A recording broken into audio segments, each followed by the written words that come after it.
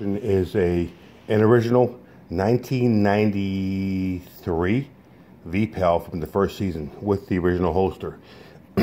now, for those of you who don't know much about holsters, this one was custom made out of styrene or vacuum formed.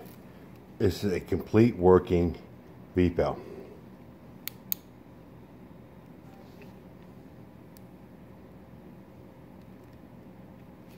Light on nothing in the back. And the battery is in here, It goes in here. The antenna is all metal. These move. But honestly, in the series, they never explained that. So here it is, an original first season V-PAL with a first season holster, which are very rare.